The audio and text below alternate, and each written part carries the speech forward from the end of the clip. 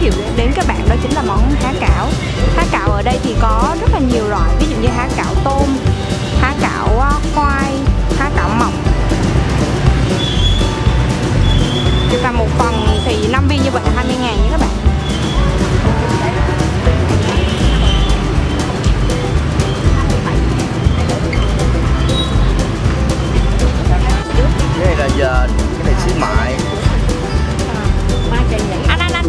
em được không? Cái này là tôm. À cái này là tôm. Rồi. Rồi à, cái này là, là thịt. Dạ. Rồi cái này là xíu mại. Chứ mại. Cái này là dền. Rền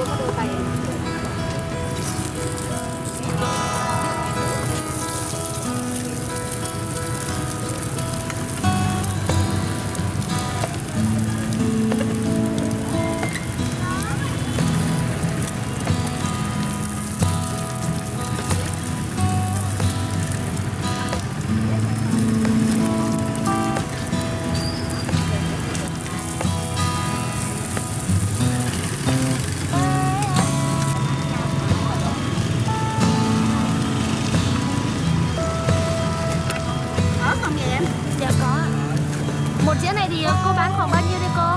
17 ngàn. Em dạ.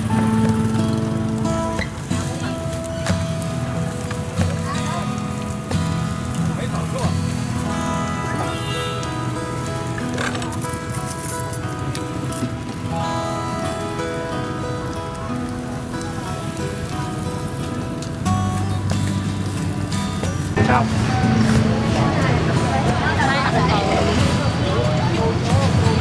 hộp như thế này à, đầy đủ là bao nhiêu hả? 20 ngàn em.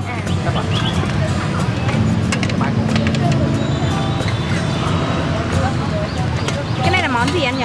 Há cảo. À há há cảo cảo của người tàu đó há cảo của người tàu ạ.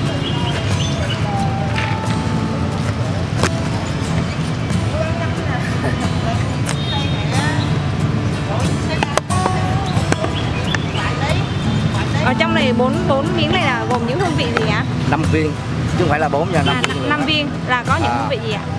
Thịt heo có tôm có rồi mọc có. À thịt heo tôm mọc. Coi như là củ giờ